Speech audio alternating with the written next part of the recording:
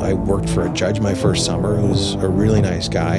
And at the end of the summer, he sat me down. He's like, you know, I don't think practicing law is for you. Interesting. And I was horrified. And wow, I mean, that's that's like that's that's the dude telling you you probably shouldn't be doing this for a living.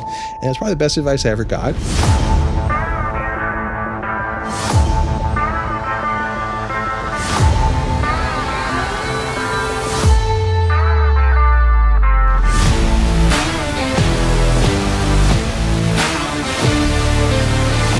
Thank you for joining us on the Evolve Your Brand podcast. I'm your host, Ollie Amirkhiz, and I am so freaking excited for this guest. He has uh, gone through a journey to get here, like seriously, a journey. So, Fred Bin from Zoom Casa, thank you so much for joining us. Thank you for having me. It's really a pleasure to be here. So, can you share the the journey that you've gone through? Take a second and tell our audience what it took to finally sit in that seat. I think it was at least one rescheduling. I recently had a kid, so um, we're roughly eight weeks in. Uh, I think last time I had a kid two it was two days before, day before we were scheduled to be on. I was actually planning to come, but my wife um, had other instructions, so I'm glad we can make it work today. And your ring is still on. So smart on. man. Thank you. smart. Yeah, like you're already winning. Yeah, learning to listen. You're already winning. Um, where how did the Fred story begin? Like where did it begin?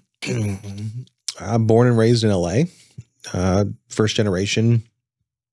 Uh, you know, literally never left the town. Uh, went to college and grad school in LA and got into commercial real estate, and eventually migrated to residential real estate and decided to start a company called Zoom Casa, and that's been the last six ish years.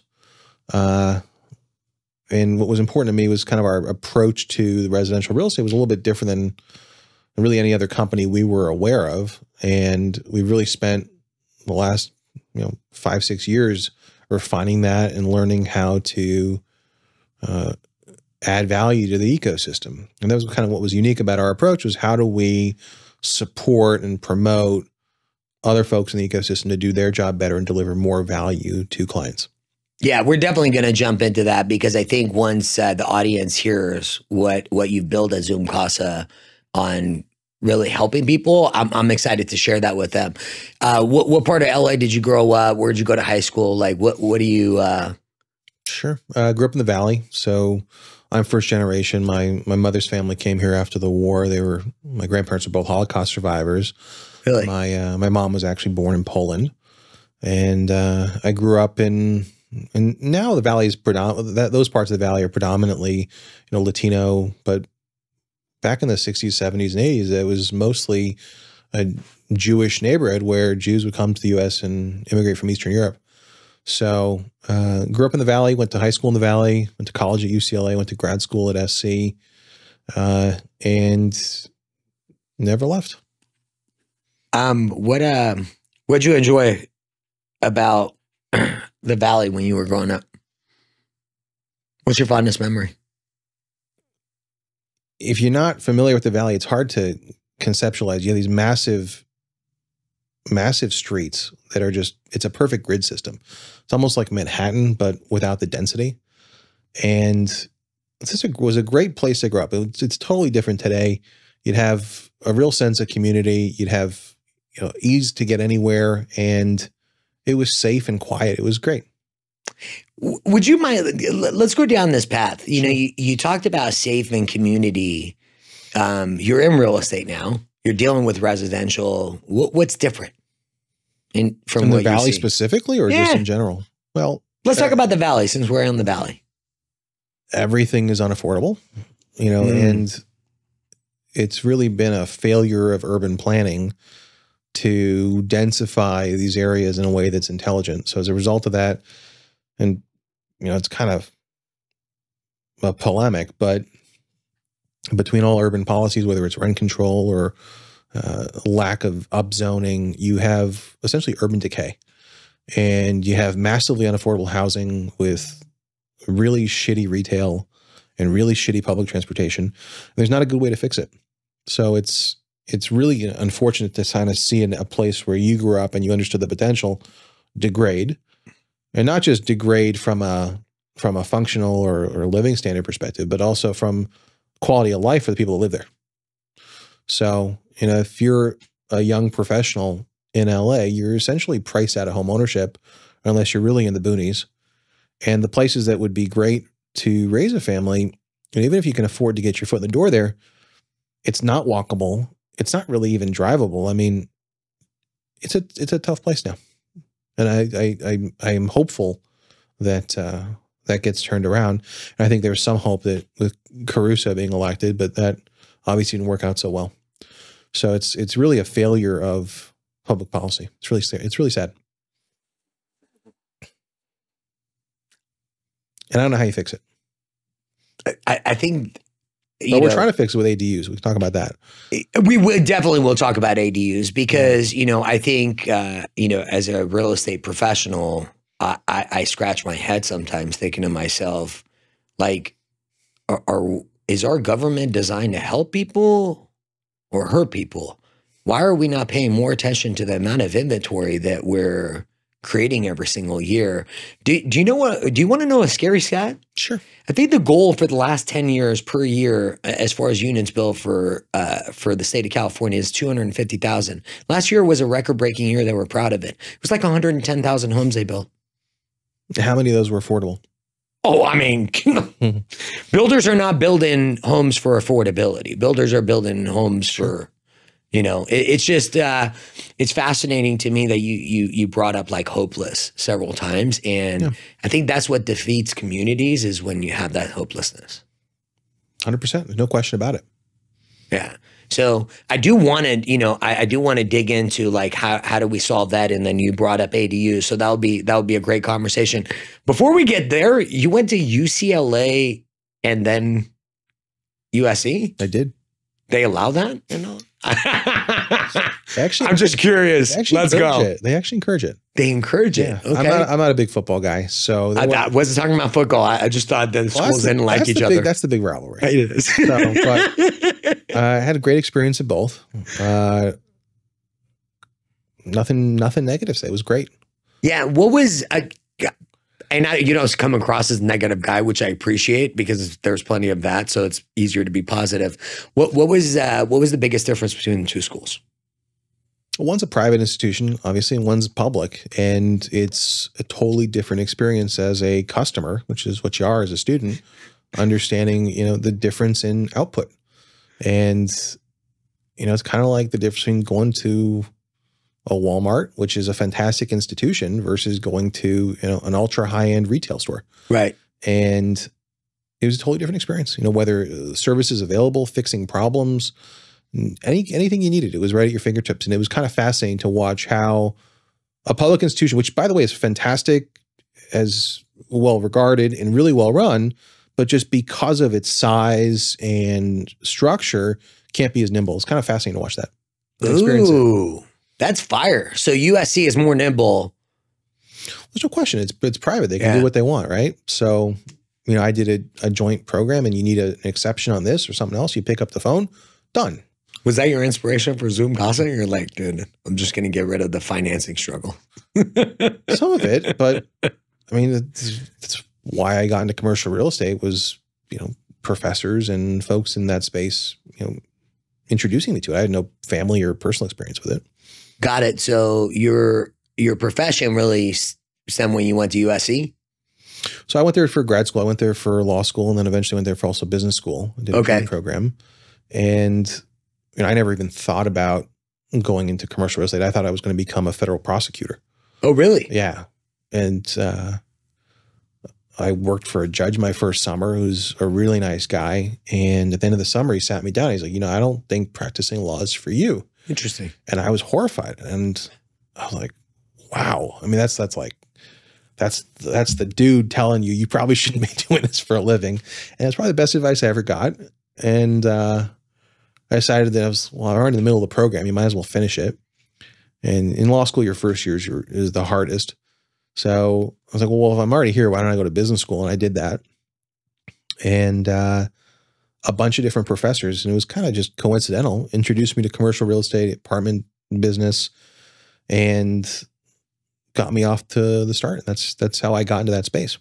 How did how did you pro- do you remember the judge's name? Sure, Neil Bason.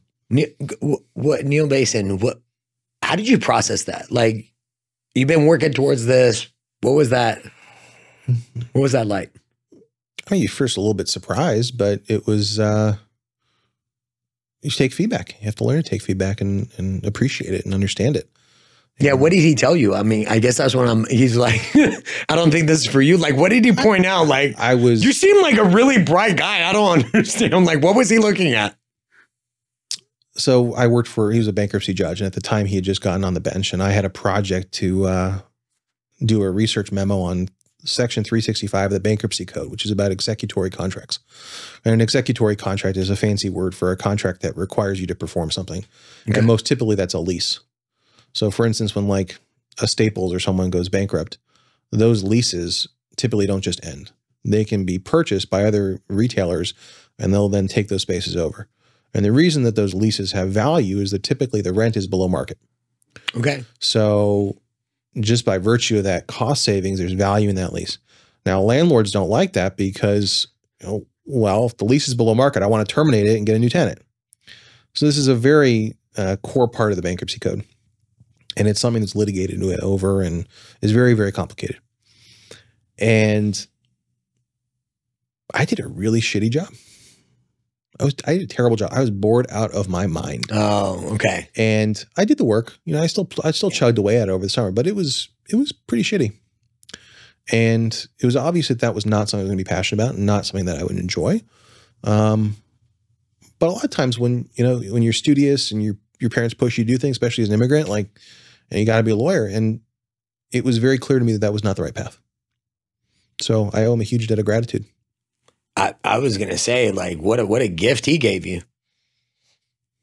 Follow your passions, man. That's that's amazing. So what what was different when you got into the commercial space? I, I- growing up as an immigrant, you never really had perception of running your own business and being able to pull levers and see immediate changes in results. And I entered the commercial real estate space right, right as the economy was recovering in the early 2010s. And you know, I was like a 25 year old. I remember, you know, literally didn't know shit from shit. And I was like, that person's going to loan me five million bucks to go buy this building that is drug infested and full of you know gang members. I can do that. It kind of blew my mind, and uh, I ended up doing a lot of demographic research, and I decided I wanted to build a business in Sacramento. So I started buying uh, bank-owned distressed apartment buildings, and built a business out of buying these buildings, renovating them, rehabbing them, uh, and running them under under a brand. And this was a this was essentially like what they called workforce housing. At the time, they didn't really hadn't really codified that term, but these are market rate apartments that are quasi affordable.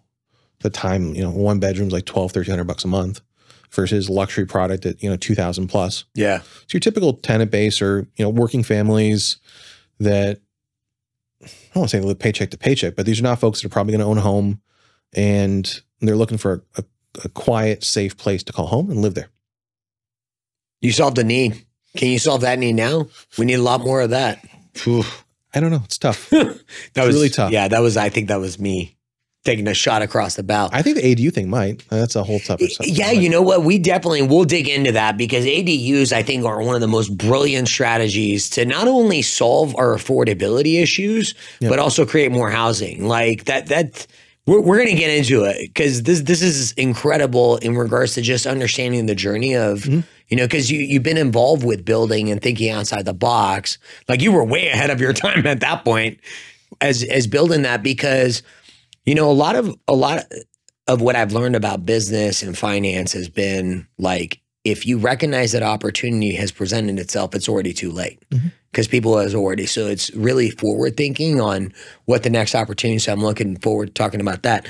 So you you get into that, you do the project, build out the business in, in Sacramento. How long were you in Sacramento?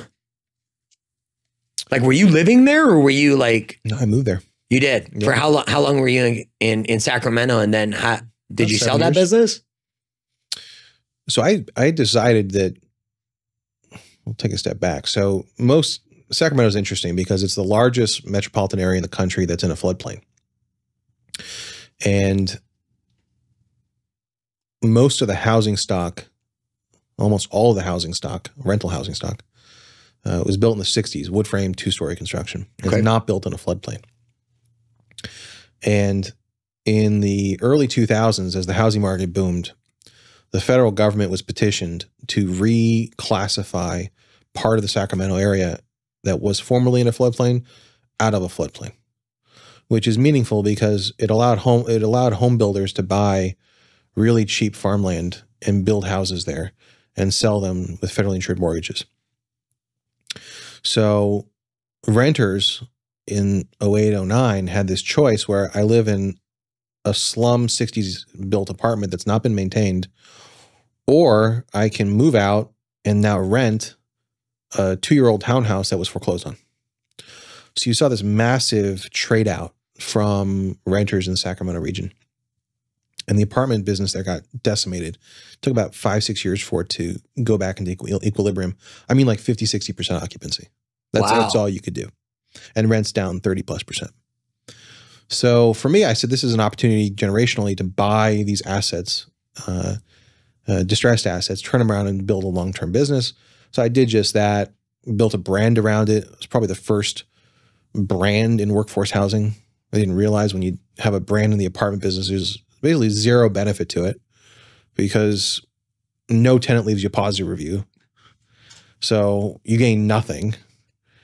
Uh, and no one looks up the brand of the apartment building they're moving to. They're not like, "Wow, this is this is the the Louis Vuitton of apartments." No, this is zero value. So I learned this the hard way. But I was building this for the long term, Right. and uh, I got shot at over a PlayStation.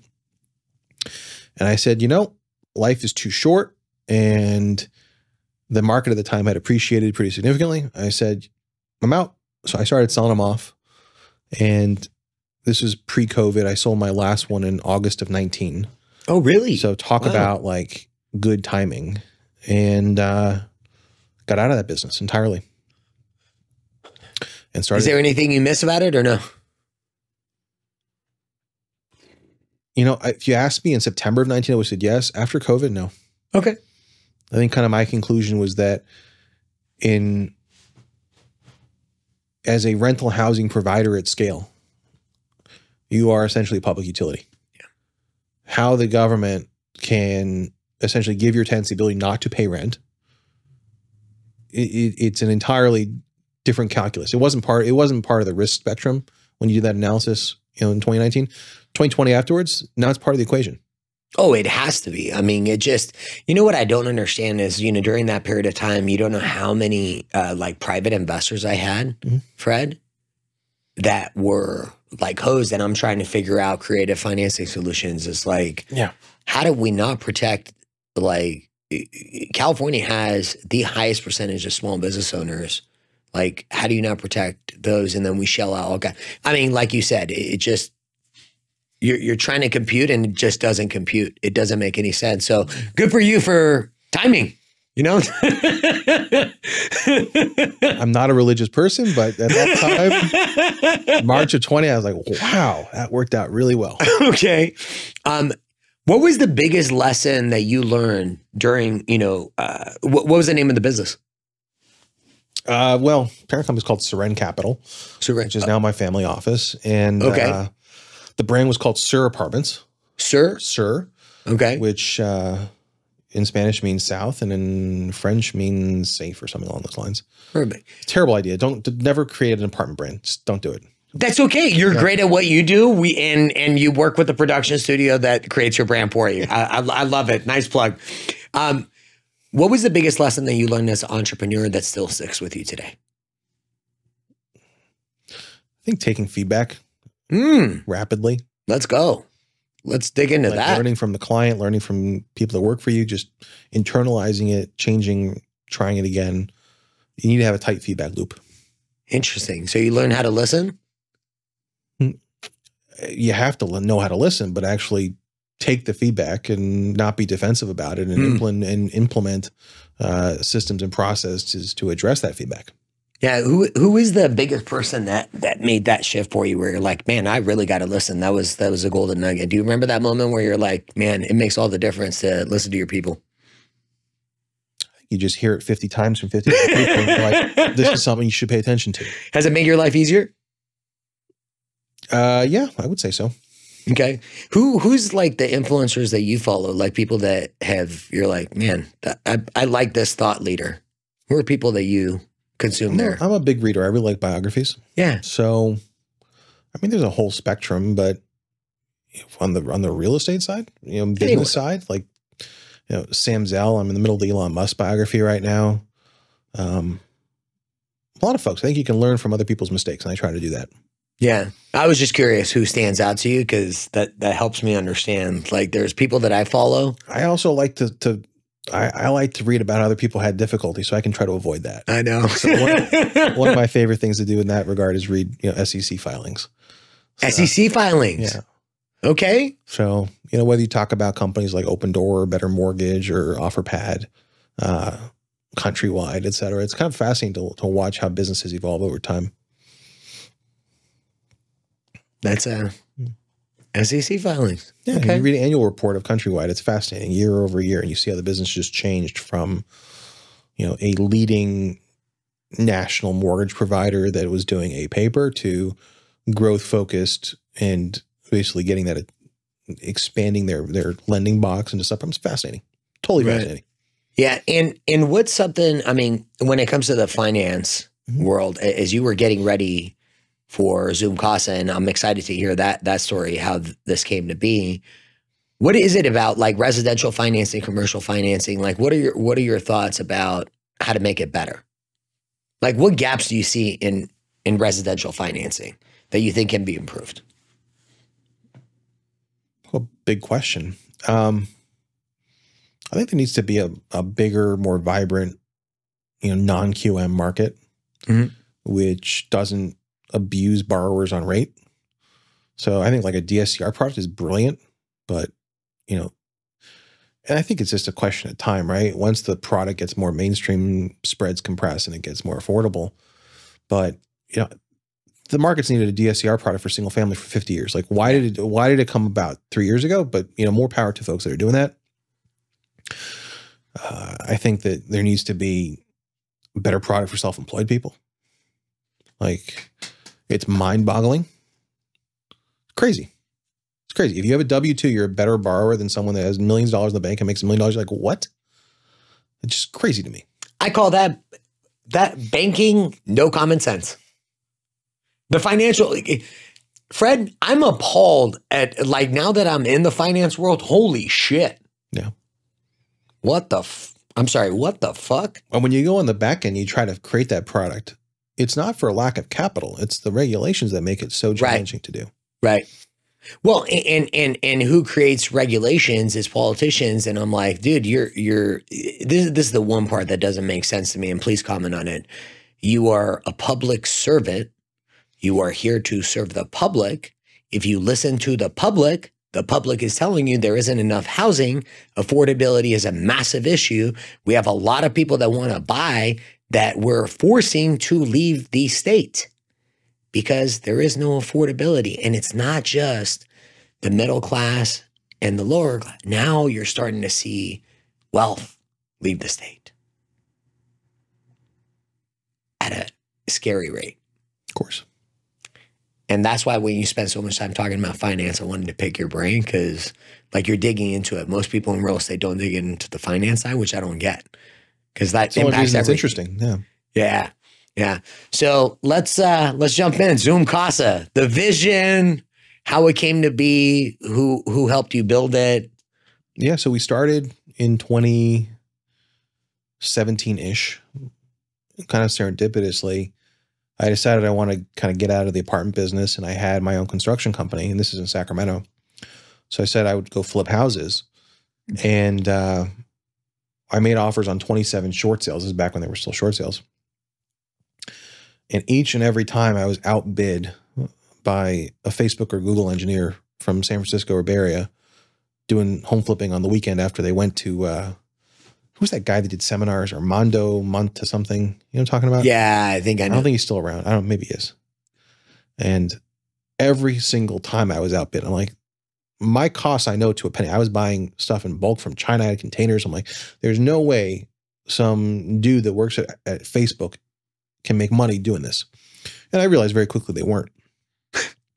and I got really pissed off because I spent the time actually underwriting these properties and writing offers. And it's like, you know, what the fuck? I wrote 27 offers, not one. And in Sacramento at the time, there was a, a part of the community called North Highlands, which was predominantly a place where African American it was predominantly African American community where folks had bought homes for literally fifteen, twenty thousand dollars in the eighties, and those homes. And this is back in seventeen. Were if they were turnkey four hundred thousand, if they were sold to an investor, it was around two hundred thousand. So the basic Okay. math was you pay 200, 210, you put in 100, 150, and you sell it for 400. And each of those homes, they were not properly maintained because these folks had bought them typically with FHA loans, but they didn't have the income or wherewithal to invest in them for the last 40 years. So investors would come and buy them, flip them, and you know make fifty, hundred thousand dollars like that. And who's getting screwed? It's the homeowners. So, Mm. and I'll be totally frank with you, is I was I was pissed off because I couldn't buy the house as an investor. yeah, So I said, well, what if I and I had this kind of an epiphany one week, and I said, what if I went to the the seller and I said, well, I'll help you flip your own house. And what's the what's the difficulty? Well, one, you got to figure out what to do. You got to figure out how to do it. You got to pay for it. So I said, what if I create a product where, as a seller, you come to us and we will flip your house for you, and you pay me when your home sells. And I'll have a profit margin in the work that we do. And then I don't have to actually own the asset. And you, as the seller, will keep most of the profit. And it seemed like a no brainer. And then it was question well, how do you get to homeowners? yeah, So I started cold calling real estate agents and taking them out to coffee and lunch and all that fun stuff. And the typical feedback was, you know, I sell five homes a year. I'm in the gym every day by 10 a.m. This sounds really cool, but I'm good, bro. And no one gave a shit. And it blew my mind because I was talking about as a real estate agent, how do you differentiate yourself to win more listings? Well, what if you go to these neighborhoods and tell homeowners, you know, we'll help you sell your home for significantly more money, uh, but zero. And around that time, unbeknownst to me, Compass, the brokerage, had rolled out what was called Compass Concierge. okay, So we started getting phone calls from other brokerages. Are you a concierge service? And I had a, a dinky little website up. I don't think we had a phone number and on the website. And after like five calls, we're like, what, what is a concierge service? And we met some agents from Sotheby's and from Berkshire Hathaway. And they're like, yeah, Compass has this program. They front the cost of renovations. We need to compete with this. So as with most sales, it's easier to sell to fear and they had to compete. So we went to some largest brokerages and said, listen, like this is a competitive landscape. You need a solution to compete. We will build you a private labeled solution for this in-house, tur- totally turnkey. And overnight, we rolled out with Sotheby's, Berkshire Hathaway, Keller Williams, and a lot of other large brokerages. And between 2018 and March of 20, you know, we went from starting in SoCal to being in like 30 states and doing a few million dollars a month of renovations. So it, it grew really rapidly. And then we took it through COVID, which was really challenging because we actually had contractors and folks in, in people's homes, which it's an odd conversation where it's like, yeah, you're in the middle of a $200,000 renovation, but we're going to stop now and we may not ever sell our house. Well, you need to pay us. Oh, I'm sorry, it's COVID. Click. So it was it was a tough time. Um, and again, listen to your client's feedback. A lot of homeowners that we work with say, listen, like I love that you're renovating my house, but I want to unlock some of my equity so I can buy another house first and not have to live through this mess. And we say, okay, well, we'll create a bridge loan product. And after learning about consumer regulations and Reg Z and ATR analysis and all this other fun stuff, we actually created a compliant bridge loan product and rolled it out. And the lesson was that most of these clients that were trying to buy before they sold, part of the issue was they needed a down payment. But the bigger issue is they needed to fix their, de- their debt to income ratio to qualify for the new loan. So just by doing the cash out bridge loan, it didn't solve that problem. Yeah. and they had the money, but they couldn't qualify. So again, you know, on the weekend thinking, how do we fix this problem? Well, what if instead of doing it as a bridge loan, we actually buy their house? So that was the genesis of what we call our forward program. And today, I think that that's the only solution in the marketplace that does a few things. Number one, it allows you as a seller to sell your home 10 to 15 days for cash. Number two, it allows you to become a non contingent buyer. Number three, you still get to work with your preferred agent and lender. And number four, and this is what makes it unique, is it helps you maximize your equity. Mm. So there's a lot of solutions in the marketplace. You can do one, two, or three, but there's no solution where you can do all one, two, three, and maximize your equity.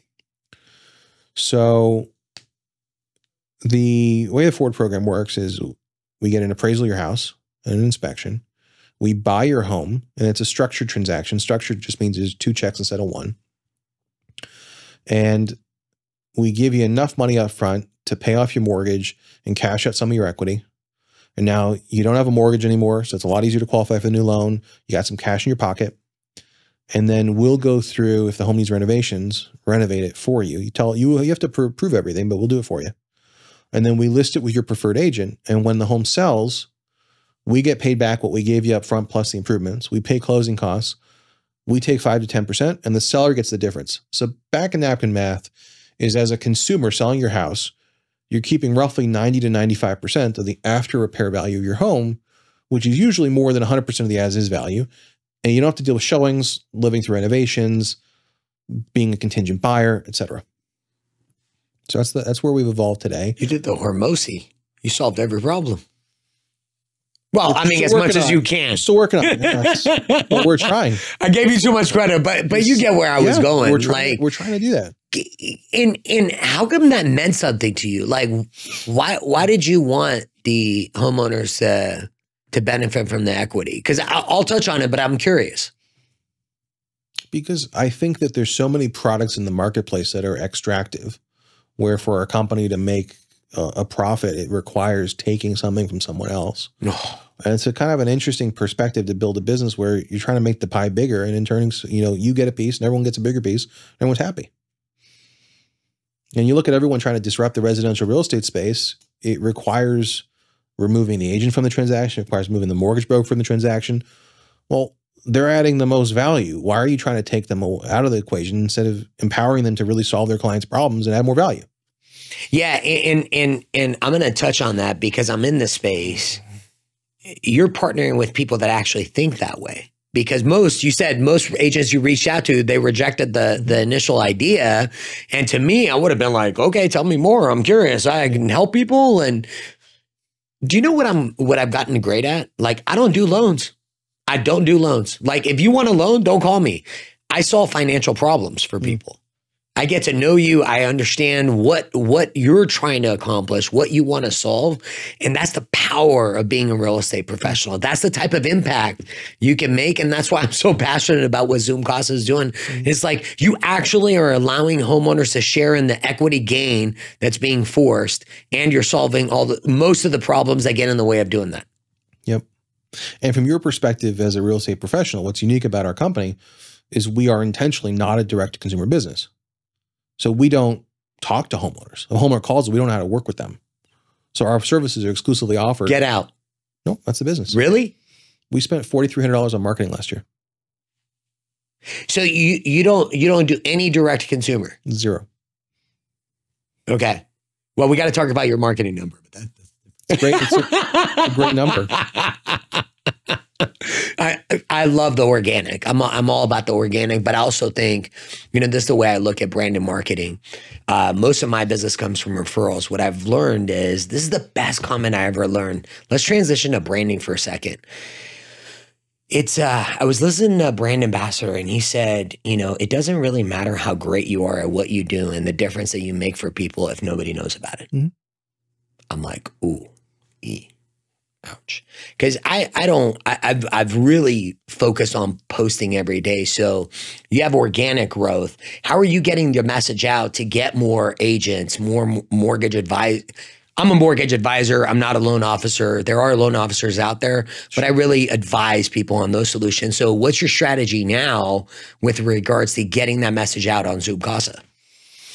It's hand to hand combat. Mm, We Okay. have account executives, and it's one relationship at a time, yeah.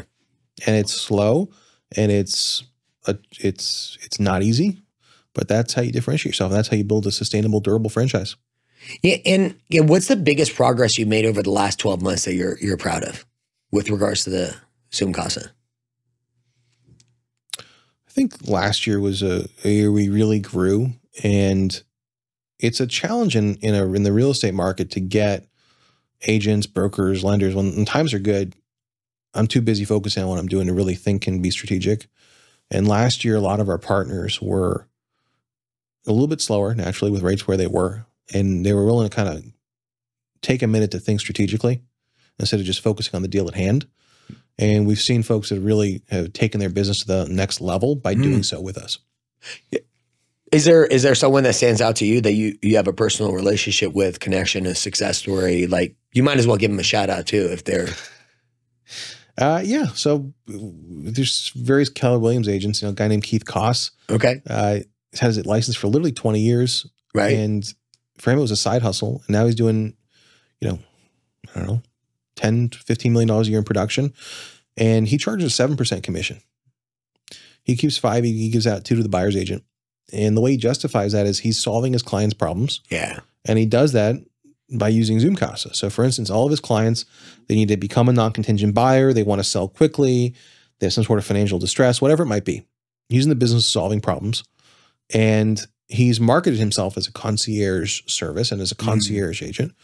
And personally, I think the word concierge is overused and I think it's misused, but that's what the market wants. And he's been tremendously successful with that. So you talk about, you know, how do you how do you have a case study of someone that is intelligent and entrepreneurial and has actually used products like Zoom Casa to differentiate themselves, add value, solve problems, and get paid to do it. And he's he's a, he's a shining example. We have we have hundreds of folks like him. So when I tell you it's hand to hand combat, it's literally one relationship at a time, and retraining agents how to be an agent. You know, for instance, we teach agents how to prospect.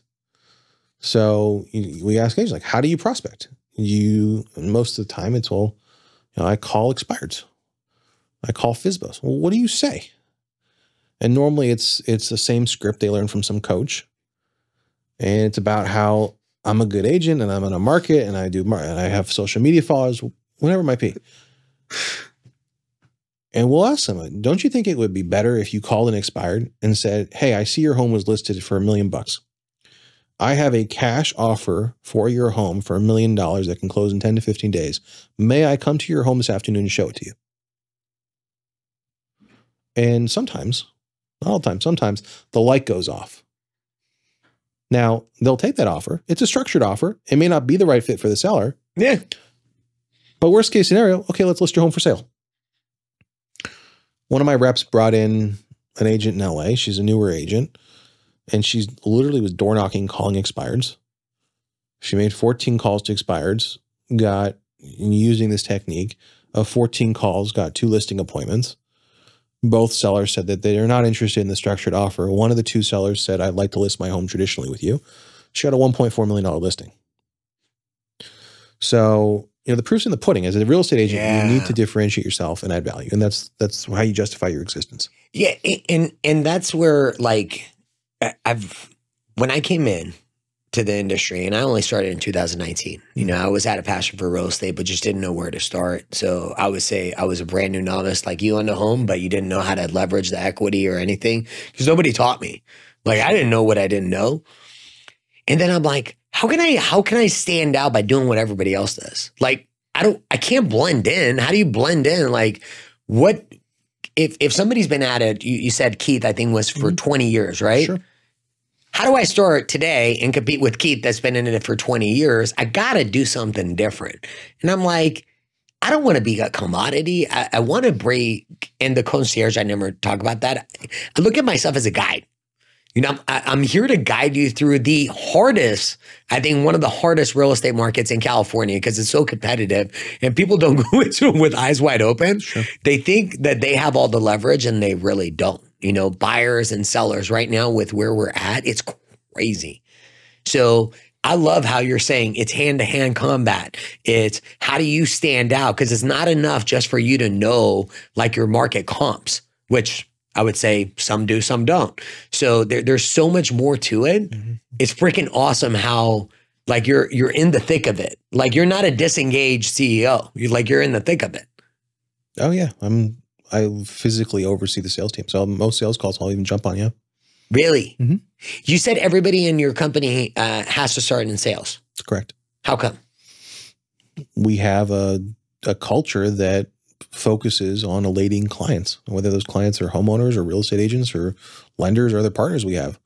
And it's really important that everyone that works in this organization understands literally from the ground level what it's like to close a deal, work with a client, and meet their expectations. So, you know, if you're working operations, I don't want a transaction coordinator that doesn't understand that their job is to close the deal. You know, your job's not to push paper. Your job is to close the deal. Do you like sales yourself? Uh, growing up, I hated it. I actually love it now. Ooh. Yeah.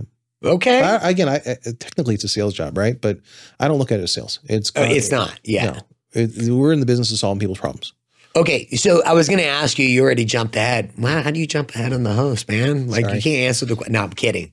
Uh, Fred, I'm thoroughly enjoying this. This is, this is freaking awesome. You said you went from not liking sales to liking it. What changed for you that you actually had that transition happen? I, I had never been in a traditional sales role before. I just had this perception of sales as something that was, you know, like a used car salesman. Mm. And I think most people like grow up. It's unless you have a family member that works in sales, there's a perception that it's bad and unseemly. Uh, and I found in, in I found in life it's the exact opposite. Now, you know, our job when we sell our product is to educate, which I personally enjoy.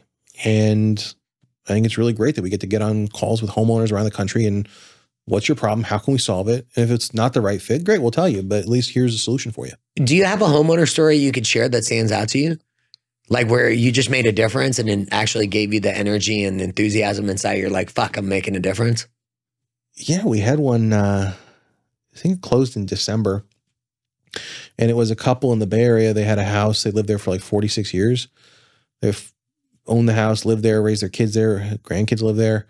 It was time to move to a nursing home, and Oh. they needed to unlock their equity to make that move. And the house needed a bunch of work, and the house appraised for like two million bucks, which seemed a little bit low, but it was it was all original and they used our program to unlock about a million bucks up front and they moved to assisted living facility and then we went in and helped the whole family package everything and do garage sale we spent about a quarter million dollars renovating the home and ended up selling for 3.925 which was massively more than anyone's expectations and i actually got a call from the homeowner uh, calling me to complain about taxes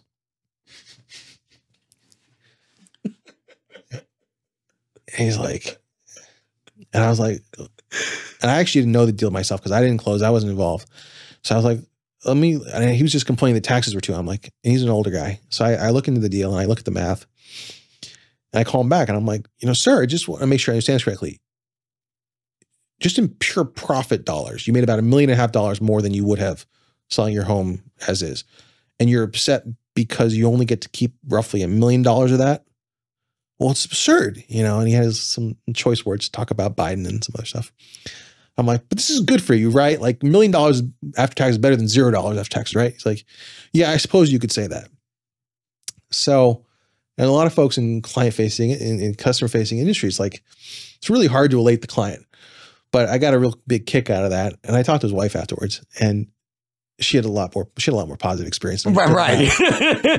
but uh, the agent looked like a rock star, and the agent's got like four or five referrals from the the facility where the gentleman went because they have a lot of clients that, you know, I, I tripped, I fell, I need to move quickly. Well, Oh. okay, I'm going to sell my home to an investor. I'm going to get my face ripped off.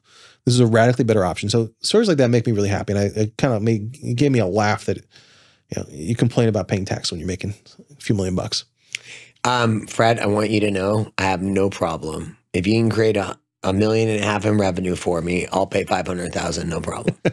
no, I'm serious. Fine I'm with not, that. I'm Let's not do it. joking. Why are you laughing? I'm totally serious. I'm in. Anybody else in? Drop a comment, please. Um, that's such a cool, cool story. Did you actually talk to you talked to them yourself? Hmm. And you, you, I mean, were you chuckling a little bit? Like, Of course. okay, good. I'm, I'm glad that you had a sense of humor By about way, it. we I'd get that like, we get the call quite a bit that people are pissed off about their taxes because they're not expecting such a large second check. That, that's a good problem to have. It's a great so, problem as someone that evaluates money and tells you the cost of money, that's a good problem to have. The more taxes you pay, the more profit you make. Yep. I love it. That's a cool story. Thank you for sharing that. Pleasure. Um, are you that involved with uh, brand and marketing? I know you, you're proud of your 4,000. Uh, how involved are you on the brand and marketing side? Do you guys have a marketing person? We do. We have a marketing director with marketing team. Amazing. So what's what what's in this? St- we're we're obviously a production studio. What's in the future? Like, where do you see Zoom Casa and brand new marketing strategy over the next like three to five years? So a lot of what we do is help our partners create their own marketing. Okay. So, for instance, we have uh, a studio in our office where we allow agents to come in and shoot their own content.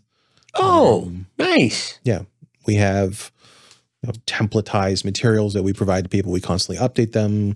Uh, other content that we uh, we help our partners use to market themselves. So you know, there's a potential down the road that will be more direct in our marketing, but for now, it's mostly B two B to C marketing. Yeah. So it's really, I look at it as we have an internal agency that we subsidize to help our partners market themselves better. Well, I think, I mean, how do you lose? You know, the, the way I look at it is how do you lose by helping people grow their brand and their influence within the communities that they're to serve? They're the ones that are doing it. So I think it's brilliant. Who did your marketing director come up with that? Like, let, let's create the studio. I'm really looking forward to checking that out. How come you guys decided to start? Uh, who came up with the idea to put a studio in, in the Uh, space? It was actually kind of serendipitous. So the space that we leased was formerly occupied by a podcasting company that was purchased by Spotify. So they had these soundproof rooms and they asked us, Do you want us to move them or not? And I said, I figured it'd be a good break room or something. We're like, why don't we actually turn it into a podcast room? Well, or video recording room, whatever they want to do. It's okay. Yeah. So we'll get the all the lingo. I, I I moved here like five months ago. I live here every day, so I can get the lingo down, and I can actually talk to these guys. They would talk to me, and it would go over my head. I'm like, I don't know what these guys are talking about. Now I love it. That's so. That's such a cool story. So literally, it was a podcast studio that you guys converted, Well, no, it was a podcast company that had a couple studios, right? and we just left the studios. So smart. I'm so excited. How long have you been in that space? Four-ish years. Four years. Yeah, we'll be moving in about a month or two. So Oh, really? yeah, but you you. How come you're moving? More it, space. yeah. You outgrew it. hmm Great problem to have. Great problem to have. What what's the year over year growth? You know, how much have you from 2000 uh, from 2022 to 2023? What was the percentage of growth? Top line Yeah, about double. really. Yeah. Congrats. Thank you. that that's not a in in our market. You were solving a lot of problems. Yeah. So last year we did, our Ford product we did about a thousand homes. Um, I'm sorry. What? last year with our Ford product we did about a thousand homes, You did a thousand homes. a little bit more than that. Yeah, Sweet. Yeah, about forty-five states, forty-six states. Um, average home value is like eight fifty. So the product's grown really rapidly, and you know, for us, it's really about once an agent uses this product once, or a loan officer uses this product once, it becomes a core part of your toolbox. And what we see is what I the biggest metric I track is repeat usage. So Explain that. if we do one deal with you as a lender or one deal with you as an as an agent, we've massively fucked up. So for me, it's critical that our partners understand and use us on a repeat basis. Yeah. they're not, then we did something wrong. They don't Okay. understand. They either they don't understand it. We didn't execute. We didn't explain it. Something's wrong. Agents that typically work with us do about five to six transactions per year with us. Oh shit. Mhm. That I mean that that and that's no joke. I mean even at, at, if they were making two percent, that that's still a significant amount. And you know what I'm excited more about is you're giving them an additional tool that helps the homeowners. Mhm. That's what means more to me than like, no offense, but I'm, I'm not a huge fan. Yeah, if the, if the agent wins and they get more transaction, great. But I'd much rather them go out of their way to solve more problems because I'm so picky. Fred, do you want to know how picky I am now on Sure. real estate agents I partner with? If they're not people centric, relationship centric, I'm not sending them deals. It's not worth it. Like to me, like in California, especially, your your home isn't a liability anymore. You know, some people just can't maximize, you know, get access to the maximum equity that they have. So that's why I'm so freaking passionate about what you're doing because that's a huge problem. Like I'm like, why do why does your average homeowner not to get ben- you know not get the benefit from the Sure. for- forced equity that you're getting into these problems? So that's why I'm such a champion of like that's awesome. Like more homeowners, what do you got to lose by by looking at your solution versus the traditional solution? and you're not even thinking about probably the investor segment of the market. I mean, how many agents I talk to? Like, yeah, I have investors I work with. Yeah. So what? You're just going to screw your your homeowner client and rip their face off so you can sell it to your investor? Yeah. I, I would say 90% of agents. Yeah. I, and, and I don't get, look, I'm not a huge, I used to love my industry. I'm not a huge fan of my industry anymore. Mm. Like with regards to the, the, the deliverables that we, uh, the way we take care of people. Like to me, it's about community. It's about taking care of people. You know, I, I make, I, I do well for what I do because I earn it. I work my ass off to make sure that I put all the real estate pressures on myself and not the homeowner. And that's why I'm so I'm so like excited about what you're doing. And you're doing grassroots effort, which is get out there and freaking work. Mhm. How cool is that? It's tough, but it works. what have you ever ac- accomplished that was that was worth it? That was easy. Uh, bought some crypto for a minute there, and I thought I was brilliant, but it didn't last very long. Okay. Learned the if you hard way. if you kept it though, it's on the way back. Like it, it's. I don't want to look. I don't want to look at it. So um, did you have fun? today or in general or what? No. Um, yes, today. Did you have fun? Yeah, I did. You having actually. fun? I am. Awesome. Um, let's jump into who you want to thank. Like who makes who makes your life better every day? Who are the people that you want to thank and give a shout out to? a fantastic executive team. Uh, my COO Leor Bensby is brilliant. My CFO Ted Bernardo is brilliant. Uh, we have a fantastic sales organization, sales team. Again, I hate the word sales, but they're really in the business of taking care of our partners. Um, you know, and way too many names to, to to shout now, but it's it's been a journey. And I think is what's nice about the residential real estate space is there's very few industries where you have such a large addressable market. You, know, you take a step back and you're like, in a bad year, four million existing homes selling, a good year, six million. So you know, I feel elated that I'm in a place where I can grow this business for the next 50 years. It's not too many business owners that can say that.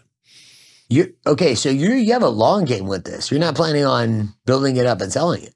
Nope. Really? How come? What else am I going to do?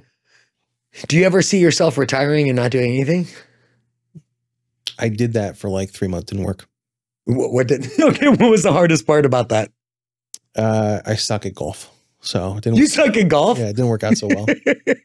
so uh, still working on that, but I enjoy it. Well, uh, you're you're you're a new father. I'm a new father. You have a brand new challenge that's gonna.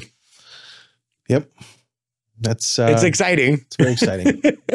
Whole newfound appreciation for parents. And Fred, congratulations for that. Like you it very much. is, it's uh, if I if I talk to myself, if I had a two month old, She's Literally two months. now? Yeah, Okay. almost to the day. uh, it would The be 12th. like Twelve. I think it was twelve. it's crazy, man. Like how that. quick it'll knock your socks off. Like the other day when I got in my car with my oldest and he's driving, that's weird. Just scared the shit out of me. That's just weird. really weird. Uh, Fred, I, I have thoroughly, I, I can't thank you enough, man. Like, uh, uh, just what you're doing, the impact that you're making, uh, you bringing Dr. Harlan on, me getting a chance. You know, I always look at leaders and it's not about what you say, it's about the culture that you instill. And uh, just his energy, just the people, you know, Joseph, I guess, uh, just that all starts with you. So like way to make a difference for your your people where they're making a difference for other people. So we thoroughly enjoyed having you on, and you're gonna have to. Do you want to come back again? I'd love to. You would? I would love to. All right. Thank you All so right, much. Drop a drop a comment if you want to see Fred back. so Fred doing amazing things. We are out.